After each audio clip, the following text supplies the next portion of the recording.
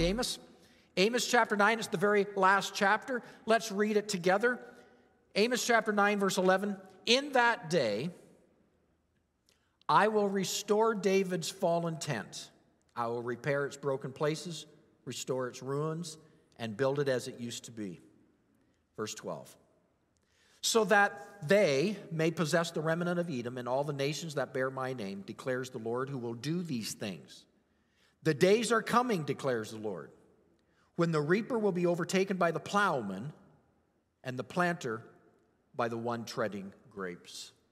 Father, we ask that you would open the eyes of our heart, open the eyes of our understanding. Lord, unless your Spirit reveals your words, we just won't understand them. We ask this morning that you would reveal your words to us, through us, change us by your word. We don't ask you to convert your word to our lifestyle. We ask that our lifestyle be converted to your words. In Jesus' name, amen. Amen. Well, again, welcome everyone, and we welcome those who are joining online, live streaming this morning. Amos, let's talk for a second about Amos. We're going to go to a New Testament text, and it's found, we want to begin to look for Second Corinthians chapter 9. So Amos 9, 2 Corinthians 9, both chapter 9s. I'm doing an Old and a New Testament, putting them side by side this morning. I think Scripture's best related when we do that. One defines the other. So, Amos, let's talk a little bit about Amos. He's uh, considered one of the minor prophets, not because he's minor by any stretch of the imagination. Amos was a shepherd, a farmer, if you would, called by God to be a prophet to uh, the northern cities of Israel at a time when they were still pretty prosperous. They were just a matter of a few years away from uh, a tremendous upset, and many of them would be exiled. So, but they're still at the somewhat the pinnacle of their of their success. It's really hard to speak to people who don't think they need anything. You, you've tracking with me? I had a youth pastor working with me, and he says, How do you tell people they need Jesus when they think they have everything? It's a tough one.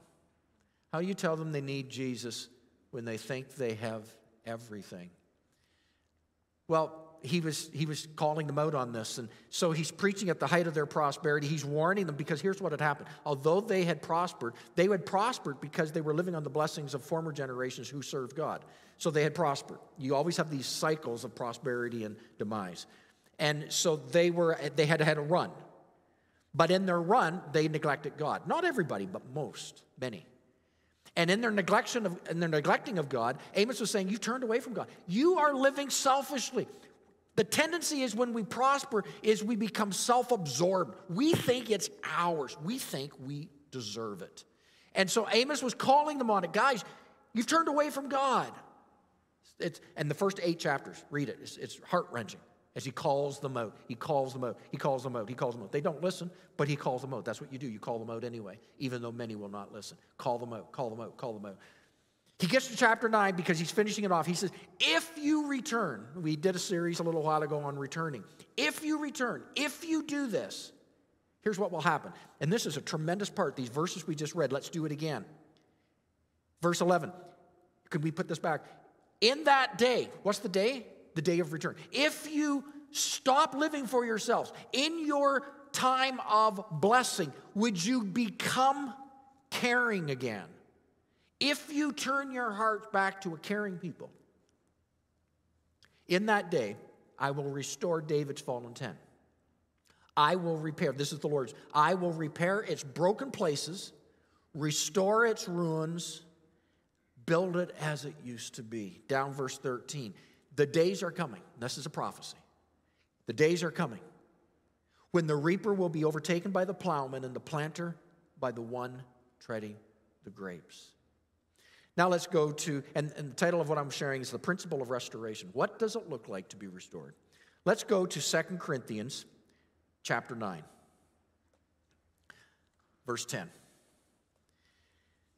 Verse 10 Now he, God, who supplies seed to the sower and bread for food, will also supply and increase, you can put the word in there, multiply your store of seeds and will enlarge the harvest of your righteousness. You will be made rich in every way, so that you can be generous on every occasion, and through us, your generosity will result in thanksgiving to God.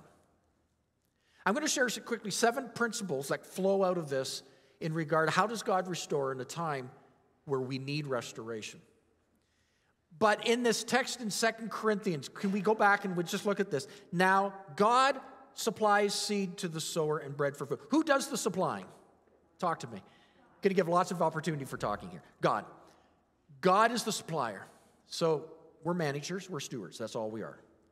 And that's a tremendous responsibility, by the way, but we are managers and stewards. God supplies the seed. So God supplies the seed to the sower and bread for food. Notice the seed. And then he says, and also supply and increase your store of seed.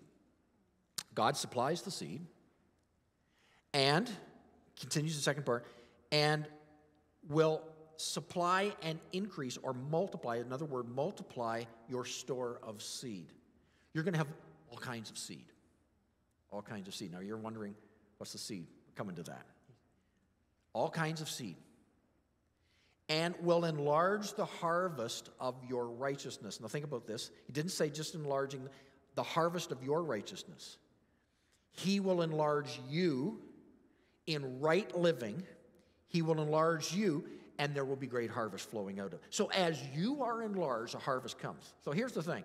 Sometimes we think God needs to move and He just needs to move supernaturally and He needs to move now. But guess what? He's waiting for the righteous. He's waiting for the righteous to begin to plant the seeds. There is no harvest if the righteous don't plant seed. So he's maturing, he's raising you up, he's maturing, he's enlarging you so that there will be a harvest, but you are part of that harvest. When the body of Christ rises up in restoration, you can't stop the harvest. But when the body of Christ do not, this is what Amos was addressing, there is no harvest there is no harvest.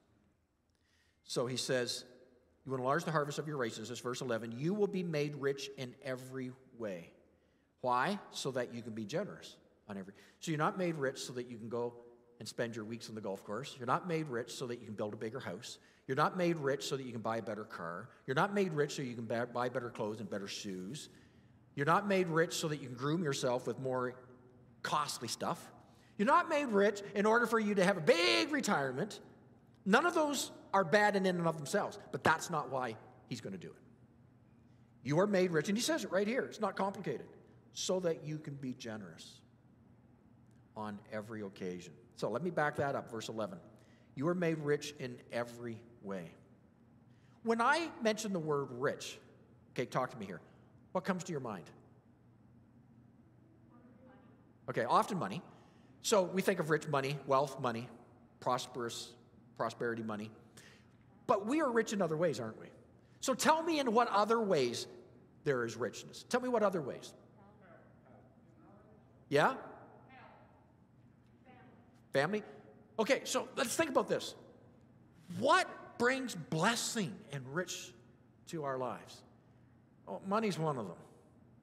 But often we get stuck there. No, a blessed family, I mean, we have talked about our, our grandbaby, um, and, and, and we're just blessed. We're rich. We're rich with our, with our family. Uh, what about your health? You're, you're rich in health. Remember, rich is, is blessed. Rich means provided for. So your, your health, are, are you healthy? Are, are you doing okay? You know, there's a lot of people who aren't here, and that's where maybe they don't feel so rich. You're blessed your health. Maybe you're rich and you were able to go to college or university. You're able to finish high school. How much of the world can't even go to high school? You got to finish it. Maybe go to college or university, get a degree. You're rich in being provided for in the means to be able to support yourself. Maybe you're rich in your job, that you have a job. How many people don't have a job? You have a job. And God is providing. Maybe you're rich, some of you are in retirement. You've been, you're rich because God has provided and you testify the years He has provided for you.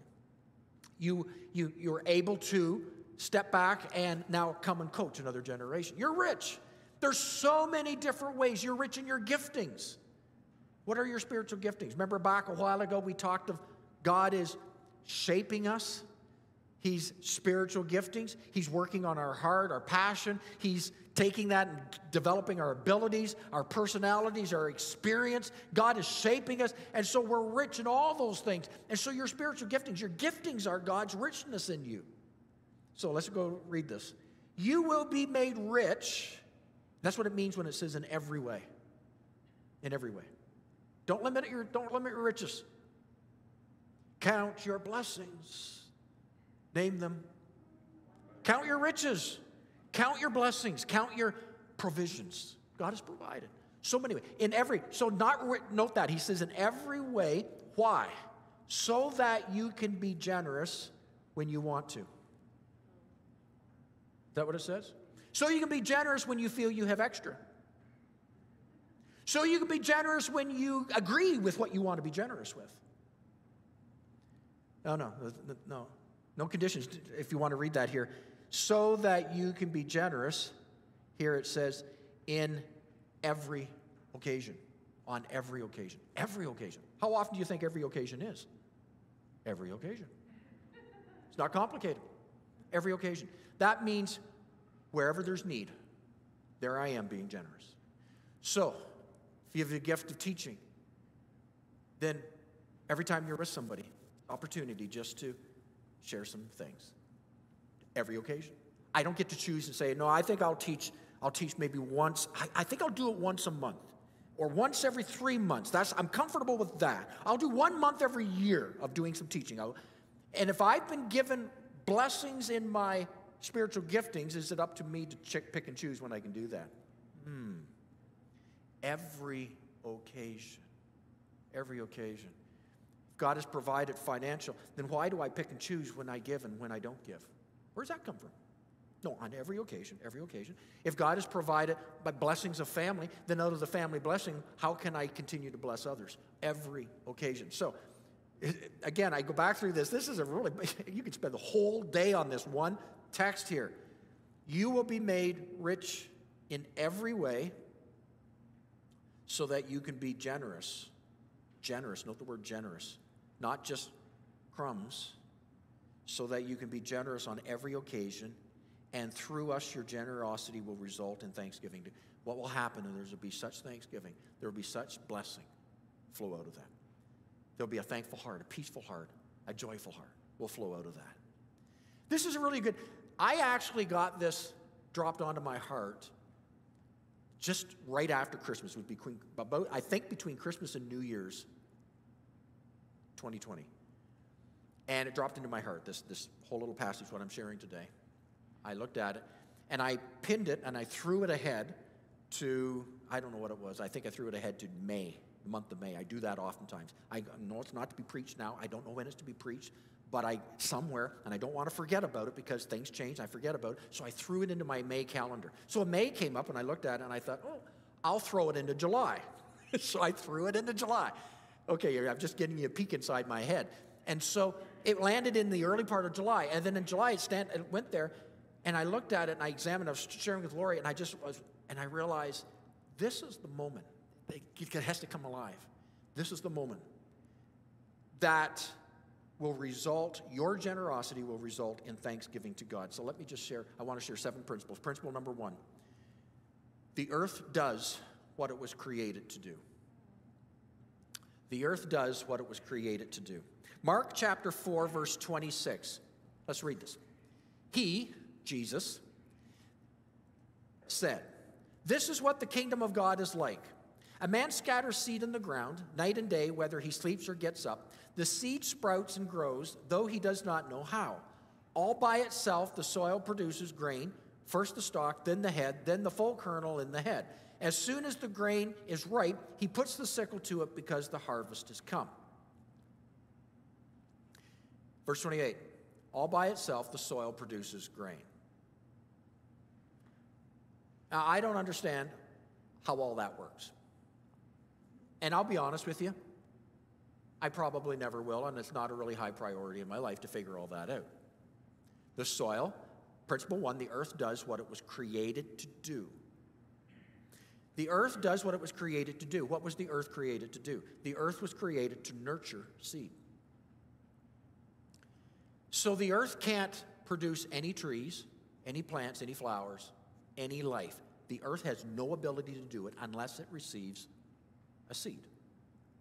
So the earth is the seed bed, but it is incapable of doing anything. So the earth was created to nurture the seed. Now, what's the purpose and nature of the seed?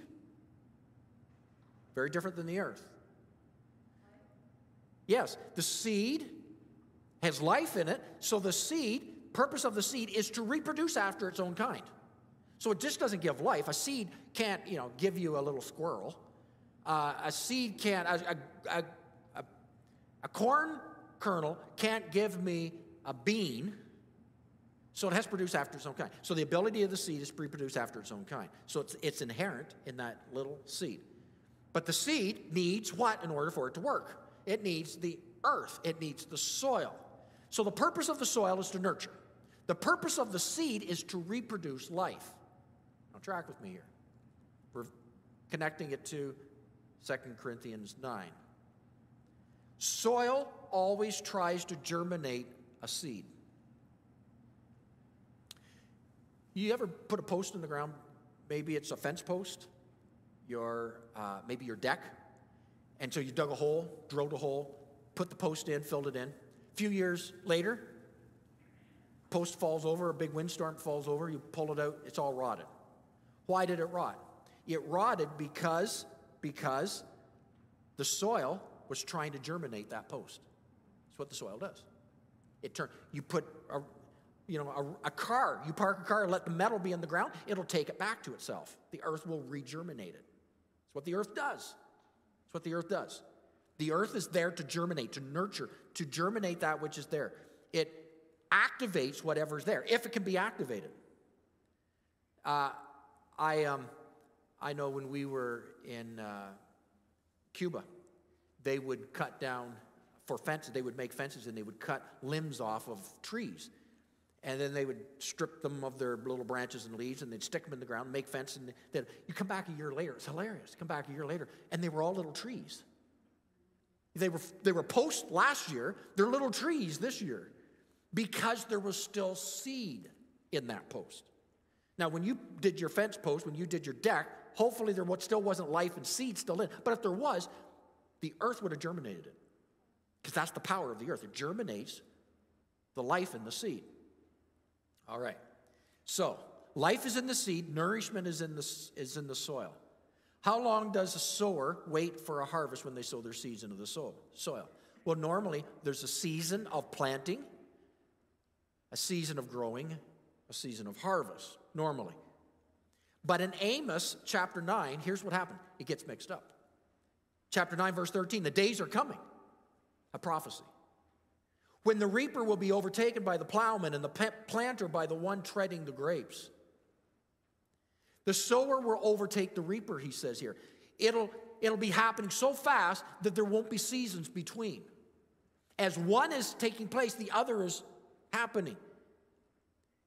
God promised harvest is that sowing and reaping will happen at the same time.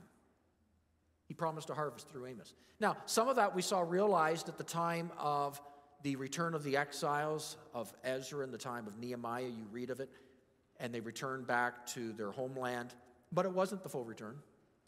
Some thought maybe it was when Jesus came and, and gave his life, but there wasn't a great return. There was a great falling away. There was a revival, but there was also a great falling away at that time, too.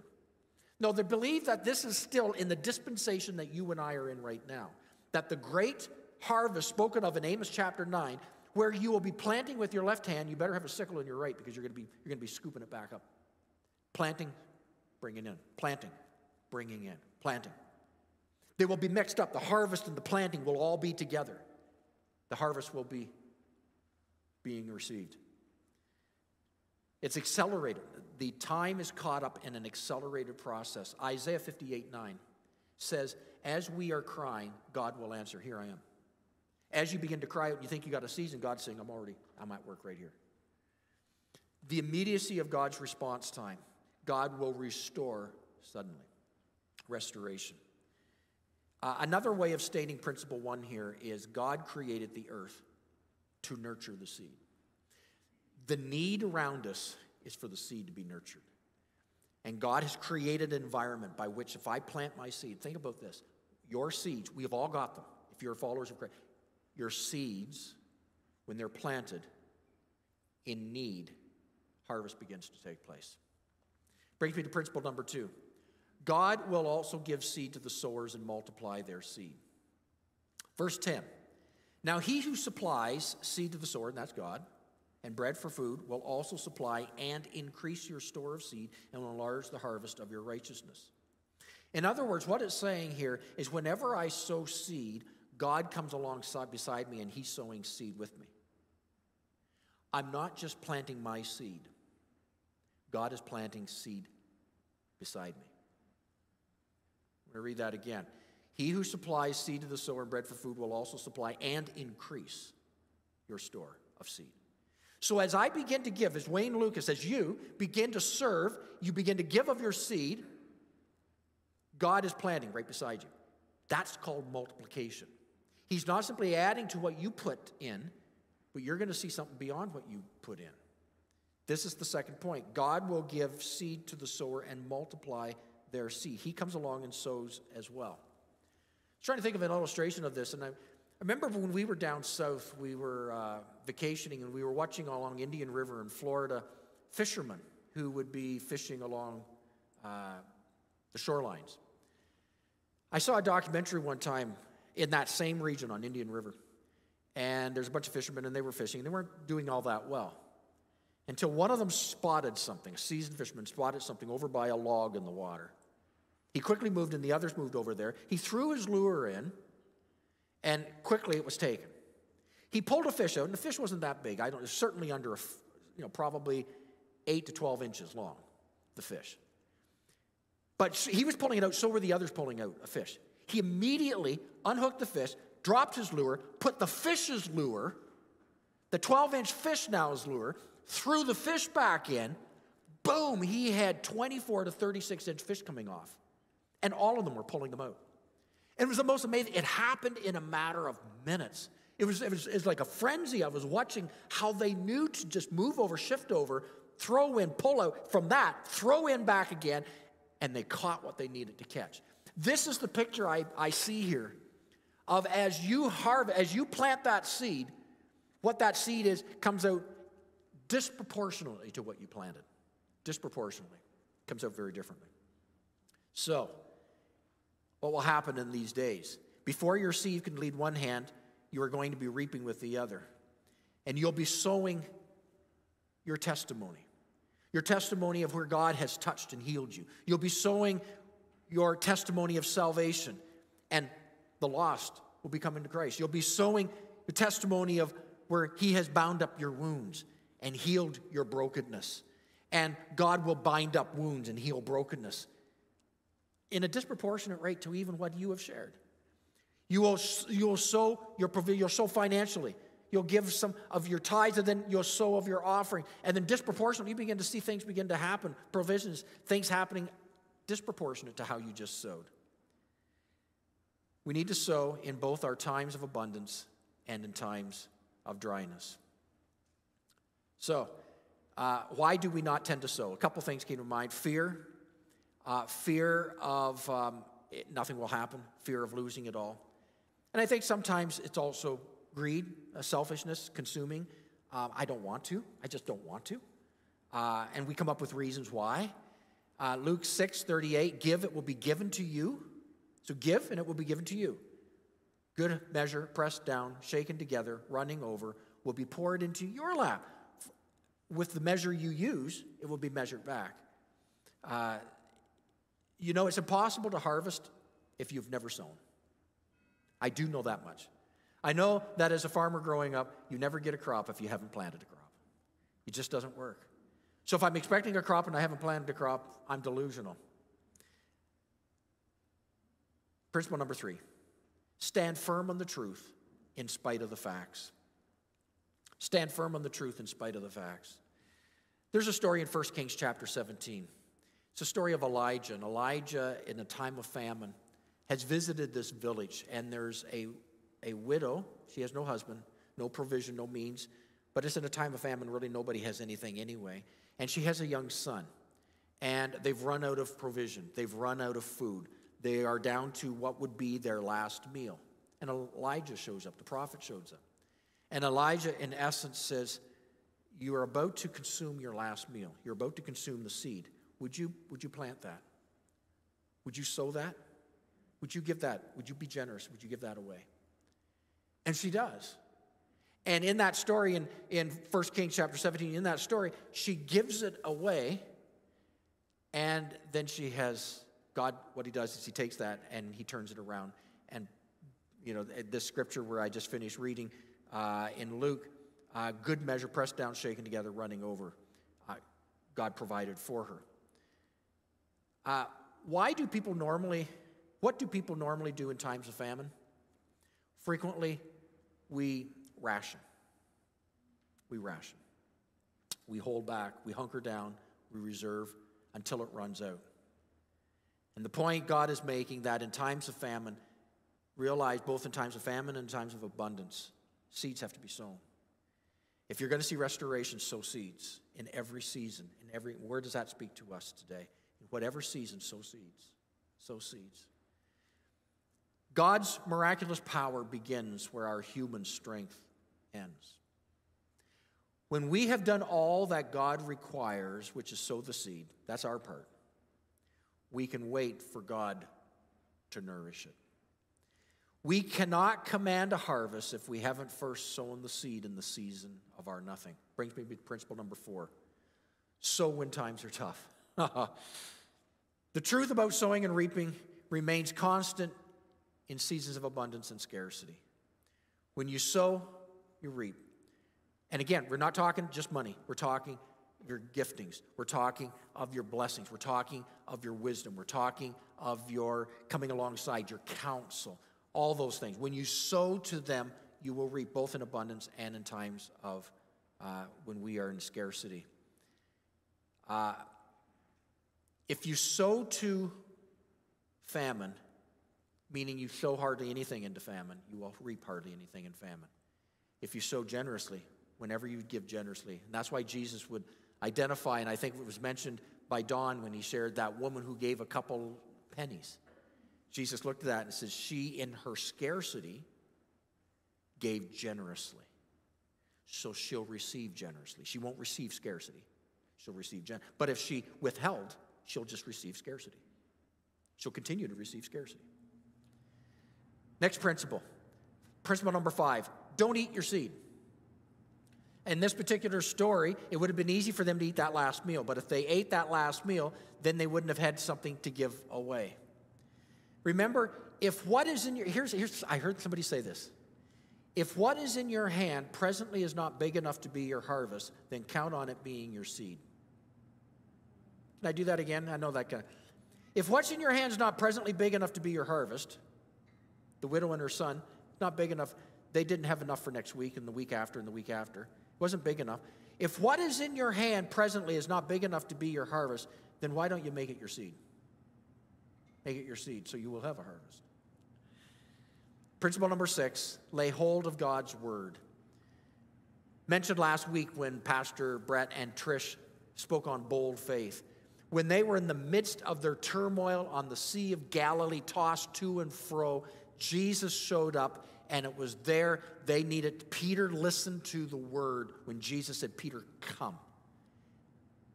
Comes down to listen to the word, lay hold of God's word. Peter was able to walk for that period of time because he laid hold of that word, Peter, come. And so he stepped out in very difficult circumstances. He followed the word. When he got his eyes off of the word, he, he, he fell into the water. But when he stayed true to the word, God's word, comes back God, I, I hold to this. I hold to this. The things that we're sharing today, I hold to that. I hold to your word, your living word.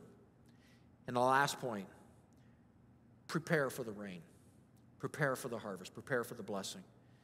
If we go back to a text in Kings where Elijah, in that same area where he was talking about the widow and the child, was also an area they had been in famine for many, many years. And Elijah turned to somebody and he said, uh, It's going to rain.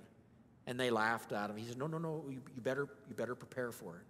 And they looked around, the dust was up. You know, this is like no cloud in the sky. No, it's not going to rain. Elijah said, Look, look, look for a cloud. Start looking, start preparing. And he couldn't see a cloud. Second time, couldn't see a cloud. Third time, fourth time, you know the story. Seventh time, saw a cloud in the distance. And Elijah basically said, You'd better run. You should have run when I asked you the first time, but you didn't. No, you had to have living proof. So by the time you saw the cloud, guess what? It caught everybody off guard. They were unprepared. Elisha, who I really, really like, Elisha, his servant, he picked up on that. He took it one step further. He had a story. They were in a famine, and he said, God is going to begin to send the rain. But he went one step further. He said, You better start digging ditches right now. Better start digging ditches. And sure enough, you can guarantee it, of all the naysayers around him going, no, it's not going to happen. We don't need to dig ditches. That's just going to burn out our energy. We're so tired. We are so thirsty. We don't have energy to dig ditches. And but you better start digging ditches. I remember when I was in the Philippines back when I was in teen missions, when I was a teenager. Uh, we were in a community just outside of Cabadbaran. And when we were setting up our tents, there was 18 tents. They were all pup tents, so uh, two of us in, per tent. And they're 18. We put them in a row and it was hot. It was the end of July, so it was about this season, but, we're, but we were six degrees off the equator.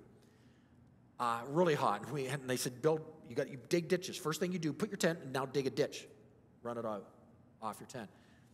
And I'll tell you, this guy did not want to dig a ditch. I thought that was so silly. We were already on high land, and why dig a ditch around the tent? But I wasn't in control. Somebody else was in control. They made us dig ditches around our, about a foot deep. And because we were in typhoon season. When typhoons hit, you really don't have much warning.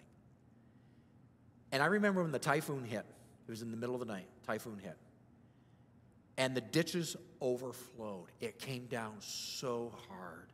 The ditches overflowed. And it wiped out about six tents, mine included six. So the next three days, I slept somewhere else. Um, it came down so hard. Here's the thing here's the point being made prepare for it. Faith is when you believe even though you don't see, but you just believe according to God's word. As God is restoring in our day, as God is renewing in our day, his promise that they would come.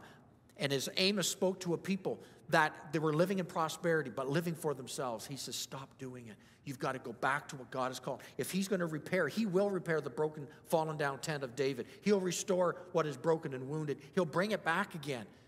But you've got to start being generous. Thus, Second Corinthians, that in every way you've been made rich, in every way, so that on every occasion, and might I suggest the occasions are right before us. Plant the seeds of life that have been given you, me, into the needs around us because they're all around, aren't they? Plant them into the needs around us and then prepare for the rain. Because as you'll be planting, you'll be bringing in a harvest. I was talking to somebody recently who was just on a retirement, just, you know, not a whole lot of money coming in. But they saw a broadcast on TV of children over in another part of the world who families don't have clean water. I mean, that's in a lot of our world. And they're dying because of unclean water. And so the people on the television show, the, the Christian television broadcast, were saying, Can you give $100? Can you give $500? Anyway, this person contacted me and said, I, and they didn't know how to set this in place. They contacted me and they said, I want to buy an entire well. And, and no, they're not overflowing in finances, but they've been provided for. I want to buy an entire well, $4,800 US, 40, for an entire well. And I'm thinking, I was, I was thinking of this, and I was thinking, as they plant, watch what God will do. The harvest, people's lives will be, thanksgiving will follow as you plant. In scarcity, you'll reap harvest and generosity. Father in heaven, I pray this morning That God, help us to understand the timing of this now and to understand maybe its personalness. It's easy to look at Amos and Corinthians and the different passages and to attribute that that is that's for them. That's not for me, that's for the wealthy. But this is really for all of us.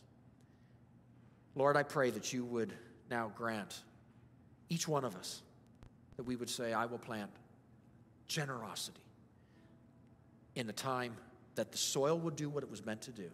It will germinate whatever I plant into it. God, I pray we will see great increase, great increase in, in this community, great increase in our families, great increase in our workplaces, great increases in our neighborhoods, great increases in, in the life center that we are planting seeds into the life center and we're seeing increases, great increases into Cornerstone Church, great increases into our youth and our children. God, we pray, God, help us to plant that we would, in out of our generosity, that God, we would see as we plant, we will see the harvest come in at the same time.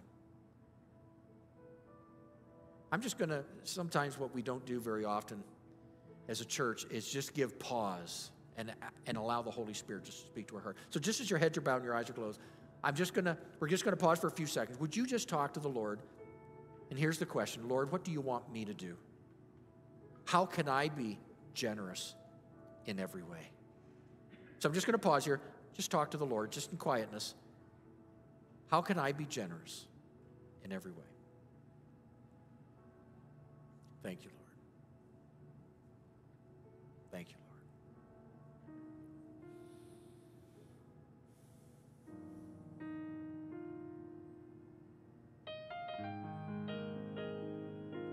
Thank you, Lord. Just talk to the Lord for a moment.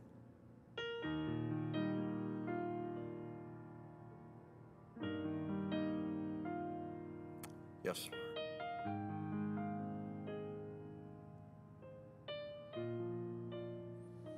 So, Father, we know your Holy Spirit would reveal what his plans are, just a nudge in our heart. Even as we look at how we've been blessed, then we know exactly what it is we have to plant. We just plant what we have. You've never asked for more. But Lord, I pray that we will not, in fear or even in self consumption, hold on. That God, we would give freely, generously in this time of need, we pray. In Jesus' name, amen. I invite you, would you join me in standing? We're going to sing that chorus again. Everything. Lord, you are everything to me. The words in that song, aren't they appropriate? My treasure, my priority. Who can compare to you? Great is the measure of your royalty. O morning star, you truly are everything. Out of that, out of that. I return it to you. Let's sing together. Everything. Everything. Everything. Lord, you are everything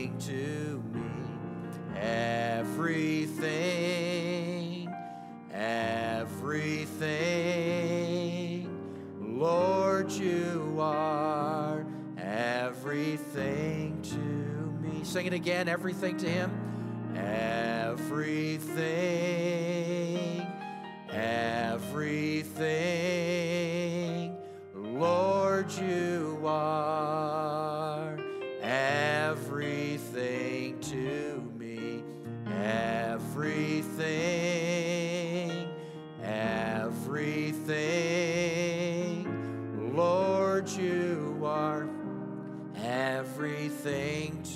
my treasure, my treasure, my priority. Who can compare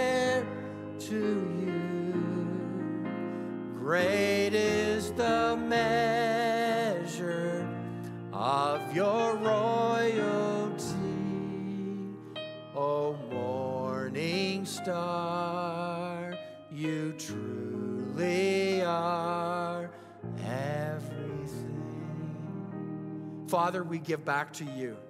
Lord, we know that you will take the seed, the seeds of life that you've given us, That God, whatever occasion that is now before us, that God, we return to you in spirit of generosity. God, we pray restoration. Bring restoration in our land. Bring restoration in this church. Bring restoration in our families. Bring restoration in our workplaces. Oh God, bring restoration in our schools and in our learning places. God, in our neighborhoods, we pray for restoration. In Aurora, Newmarket, Oak Ridges, God, in this community, bring restoration. Oh, by the Spirit of the living God. Lord, as we plant, we know that you're planting right alongside us. Lord, we know it's impossible to outgive you.